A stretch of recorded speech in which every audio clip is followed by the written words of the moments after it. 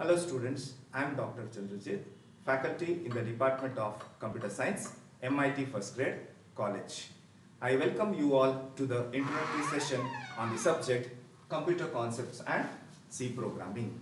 This subject belongs to first semester BCA and has got 6 credits. The credit is divided into following pattern. L 4 credits which means lecture 4 credits and 1 credit of lecture is equal to 1 hour that is 4 hours of lecture in a week and 2 credits of practical means 2 multiplied by 2 hours that is 4 hours of lab sessions in a week. Now let us see the syllabus structure. The syllabus is divided into 4 units.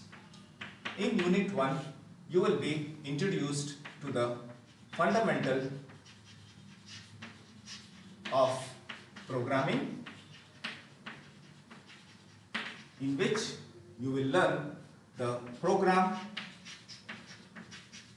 development life cycle. And you will be introduced to the concepts of C programming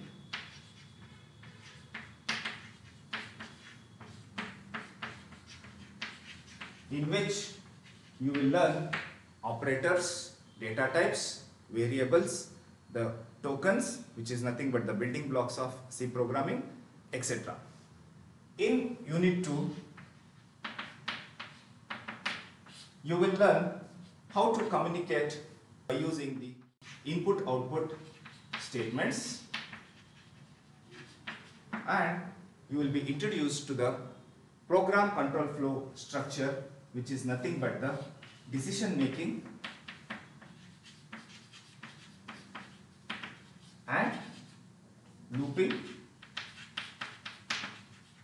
statements. Also, you will be introduced to the jump statements.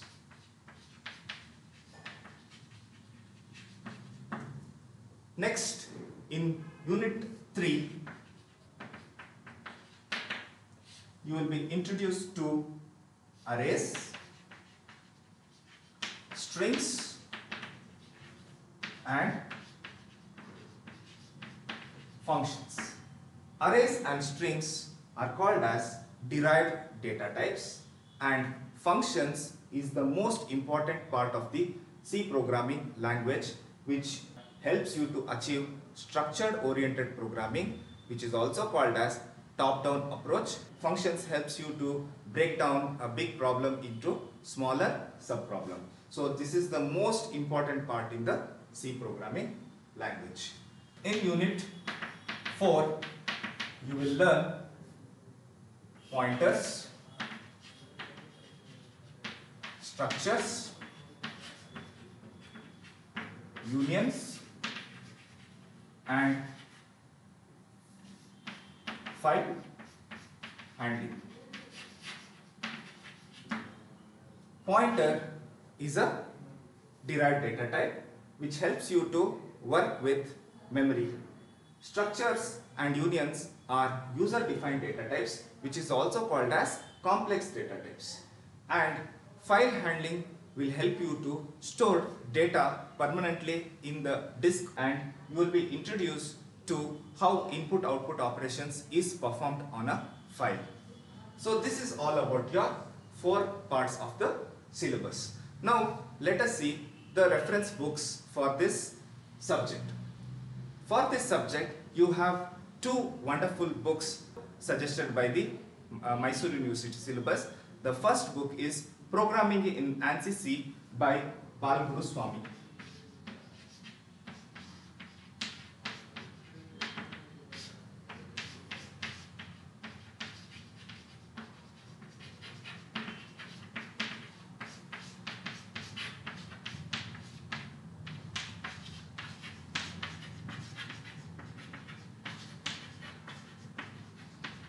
And the next book is C Programming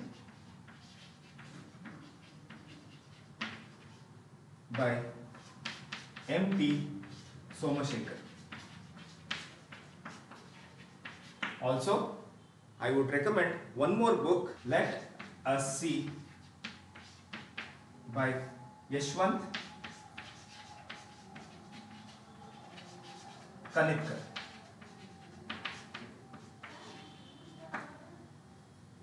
You want to study any of the subject, students, I recommend you to buy one among this book and keep it in your home for studies. Next, we will see the question paper pattern. Your question paper consists of two parts, part A and part B. Part A is 2 marks questions which is nothing but objective type in nature. So there will be 12 questions out of that you have to answer 10. So totaling to 20 marks. In part B descriptive choice questions having each main of 15 marks.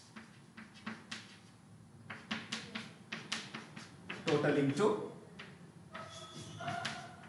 60 marks and each main has got its own internal choice like 1A, 1B or 1C or 1D. Your total question paper totals to 80 marks. Students, this subject is for total of 180 marks.